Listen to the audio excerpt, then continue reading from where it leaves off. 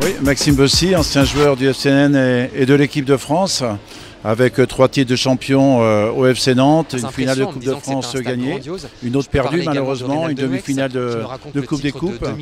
et donc ça fait euh, très très longtemps que, j'ai joué dans, ce club, mais je n'y garde que de bons souvenirs. Seul chez lui. Maxime Bossis, qu'est-ce qui vous a donné envie d'écrire ce livre qui, raconte votre histoire dans, le monde du football, notamment au FC Nantes des tribunes. C'est juste un bilan un petit peu d'une carrière qui a été assez longue. J'ai fait mon premier match à Nantes à 18 ans, le dernier à 36. Il y a pas mal de choses à raconter, notamment sur l'évolution de, mon sport euh, du football, avec plein d'anecdotes. Et le fait aussi qu'avec Emmanuel Faure, qui a coécrit euh, avec moi, on a des liens d'amitié, donc euh, ça a facilité les choses. J'avais eu quelques demandes de biographie que j'avais refusées jusque-là. Et donc voilà, celle-ci, sans prétention, je pense, est assez intéressante. Maxime, plus de 30 ans après la fin de votre carrière, qu'est-ce qui vous reste comme souvenir de toute cette époque? Il nous reste que des bons souvenirs, hein. bien sûr, qu'on a eu aussi euh, euh, quelques matchs difficiles, quelques souvenirs douloureux de blessures ou de défaites. Mais j'ai vécu heureusement une époque où on gagnait beaucoup plus de matchs qu'on en perdait. Et c'est vrai que je rencontre énormément de supporters qui ont un, peu la nostalgie de cette époque des années 80 du FC Nantes qui euh, remportait quelques, titres. Dans tous les joueurs que vous avez côtoyés, notamment à Nantes, et aussi les, entraîneurs, quels sont ceux qui vous ont le, plus marqué oh, Celui qui m'a le plus marqué, c'est forcément Henri Michel, le symbole du FC Nantes, avec euh, l'élégance, l'efficacité.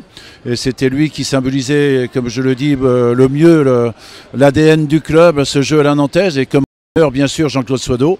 Euh, quand je suis arrivé avec beaucoup de mes, copains, il était patron du centre de formation. J'ai retrouvé au niveau euh, de l'équipe professionnelle, euh, été capitaine avec lui. Et il est bien sûr l'entraîneur qui m'a le plus marqué au FC Nantes. Comment vous, vous jugez vous, un petit peu l'évolution du football? Le football a évolué, évidemment. Il y a beaucoup plus d'intérêt médiatique et, financier en jeu euh, qu'à mon époque, même si j'ai connu une certaine évolution à la fin des années, euh, au milieu des années 80. Et après le football, j'ai refusé quelques œuvres d'entraîneurs ou de dirigeants pour me consacrer à, des relations publiques. Euh, également, j'ai commenté pendant presque une vingtaine d'années sur différentes chaînes. Donc je suis resté très proche du milieu en rencontrant pas mal de, gens de, de différents milieux socio-professionnels. C'est quelque chose qui m'a beaucoup plu, en privilégiant aussi un petit peu euh, la, vie de famille, car être entraîneur notamment, c'est pas toujours facile, beaucoup de déménagements. Et j'avais vécu ça euh, pendant pas mal de temps en étant joueur.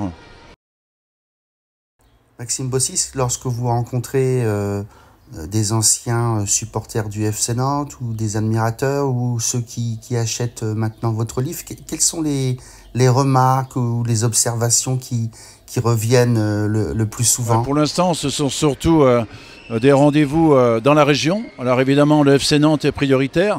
en dehors de la région, ce sera l'équipe de France. Mais les remarques, évidemment, c'est la nostalgie d'un FC Nantes qui gagne, la nostalgie pour les plus anciens du stade Marcel Saupin, également celle de la Beaujoire hein, qui existe depuis 40 ans. Donc les gens aiment bien se remémorer euh, de belles, euh, de belles années. On espère que celle-ci se terminera le mieux possible avec un, maintien évidemment en Ligue 1. Dernière petite question peut-être. Euh, on fête cette année les 40 ans de, la Beaujoire. vous avez joué un petit peu à la Beaujoire quand vous êtes revenu notamment du Matra Racing à Nantes. Est-ce qu'il y a un souvenir à la Beaujoire et un souvenir à Sopin qui reste plus fort que les autres? À Sopin, il y a tellement de souvenirs qu'il n'y en a aucun qui est plus important euh, ou plus marquant qu'un autre. Par contre, à la Beaujoueur, le souvenir marquant, c'est le premier match avec l'équipe de France qu'on fait euh, pendant l'Euro 84 contre la Belgique. Euh, il y avait 53 000 ou 54 000 personnes au stade. On gagne 5 à 0. J'étais encore au donc dans mon jardin. Et c'était vraiment très agréable cette journée. Merci à vous. Un symbolise parfaitement la réussite de l'équipe de France. Le ralenti le prouve tout réussissait ce soir au tricolore, même les bars étaient avec eux, ils étaient bien.